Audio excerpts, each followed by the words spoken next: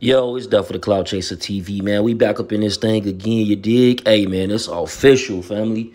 So, middle finger from the stand, you know, Troy Ave, he finally done it. Like, people were saying that it was going to happen today on this Monday, but um, it's definitely official, man. Manhattan Supreme Court, they confirmed uh, with the New York Post what was said inside that, um, you know, trial today. And basically, he said he's just describing grappling with um, Taxstone, hip hop podcaster whose real name is Daryl Campbell over the gun. It looks like to see people wrestle in high school wrestling, the type of positions. When the shots goes off, I see the light from a spark. I hear the shot. He testifies.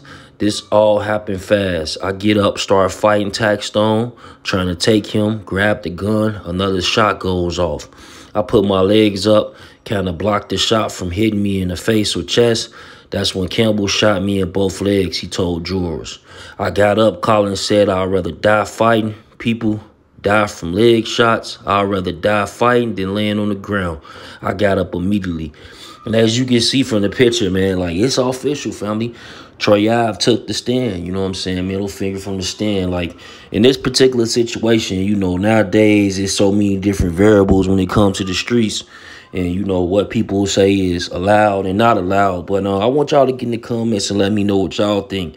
Y'all think that Troy Ave is, you know, snitching? You think that he had to do this? Like, what's to it? Let me know.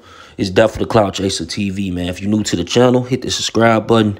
Share us on Facebook and Twitter. Gang.